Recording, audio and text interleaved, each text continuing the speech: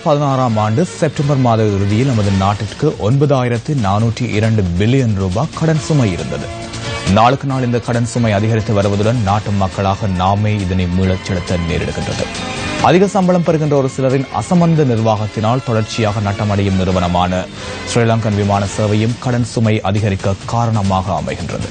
நாடு மற்றும் நிறுவனத்திற்காக அர்ப்பணிப்புடன் சேவையாற்றும் அநேகமான ஊழியர்கள் இது குறித்து அதிருப்தி அடைந்துள்ளனர் ஸ்ரீலங்கன் விமான நிறுவனத்தின் வருடாந்த கணக்கறிக்கைகளுக்கு அமைய இரண்டாயிரத்து பதினாறு இரண்டாயிரத்து பதினேழு நிதியாண்டின் நட்டம் இருபத்தெட்டு பில்லியன் ரூபாவுக்கும் அதிகமாகும். இந்த அளவு பாரிய நட்டத்தை எதிர்நோக்கும் நிறுவனம் அன்றாட செலவை அரச வங்கிகளில் பெற்றுக்கொண்ட ஏழு தசம் ஐந்து பில்லியன் ரூபாய் மிகை எடுப்பை பயன்படுத்தியே ஈடு செய்கின்றது. விமான கொடுக்கல் வாங்கலுடன் தொடர்புடைய முறைகேடுகள் மற்றும் முகாமைத்துவ சீர்கேடுகள் காரணமாக நாட்டின் சர்வதேச லட்சணியை உலகிற்கு எடுத்துச் செல்லும் தேசிய விமான சேவை நிற்கதி நிலைக்கு தள்ளப்பட்டுள்ளது. பில்லியன் கணக்கில் நட்டமடையும் நிலைக்கு ஸ்ரீலங்கன் விமான நிறுவனம் தள்ளப்பட்டாலும் மூன்று மில்லியன் ரூபாவுக்கு மேல் மாதாந்த கொடுப்பனவு பெறுகின்ற நால்வர் இன்றும் அந்த நிறுவனத்தின் உயர் பதவிகளை வகிக்கின்றனர். உரிய வணிக மூலோபாயங்களை நடைமுறைப்படுத்தி நிறுவனத்தை லாபமடையும் நிலைக்கு மேம்படுத்த வேண்டிய முக்கிய பொறுப்பு அவர்களில் ஒருவரான பிரதம வணிக அதிகாரிக்கு உள்ளது. தற்போதைய அரசாங்கம் ஆட்சிக்கு வந்ததன் பின்னர் இரண்டாயிரத்து பதினாறாம் ஆண்டு ஜனவரி முதலாம் திகதி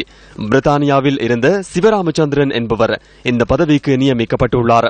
அவர் ஸ்ரீலங்கன் விமான நிறுவனத்துடன் இரண்டு வருடங்களுக்காக ஒப்பந்தம் செய்து கொண்டுள்ளதுடன் ஒப்பந்தத்தின் பிரகாரம் அவருக்கு மாதாந்தம் ஒன்பதாயிரத்து ஐநூறு பவுண்ட்ஸ்கள் அடிப்படை சம்பளமாக வழங்கப்படுகின்றது.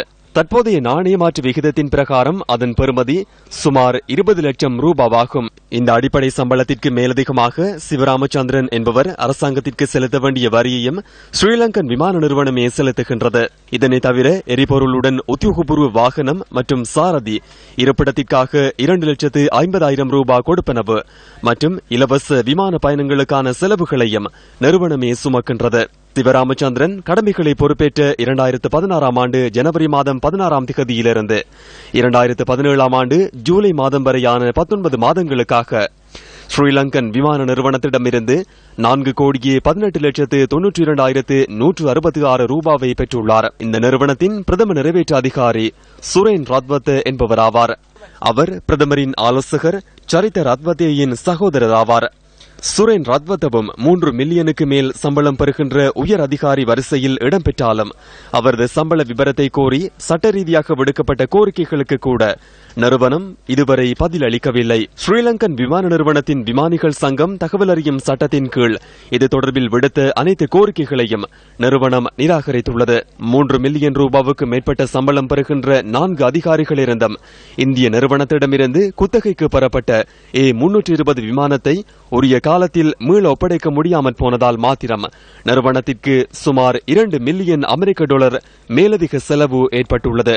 விமானங்களை பழுது பார்ப்பதற்கான ஐரோப்பிய விமான பாதுகாப்பு முகவர் நிறுவனத்தின் அங்கீகாரத்தையும் ஸ்ரீலங்கன் விமான நிறுவனம் அண்மையில் இழக்க நேரிட்டது. இருபத்தெட்டு பில்லியன் ரூபாவுக்கு மேற்பட்ட நட்டத்துடன் நடத்தி செல்லப்படுகின்ற நாட்டின் தேசிய விமான சேவைக்கு மூன்று மில்லியன் ரூபாவுக்கு மேல் மாதாந்த சம்பளம் பெறுகின்ற நான்கு உயரதிகாரிகளின் சேவை பெறப்பட்டதால் கிடைத்த நன்மை என்ன? இறுதியில் இந்த சுமையும் நாட்டு மக்கள் மீதல்லவா சுமத்தப்படுகின்றது. சர்வதேச ரீதியில் நாட்டின் நட்பெயருக்கல்லவா பாதிப்பு ஏற்படுகின்றது.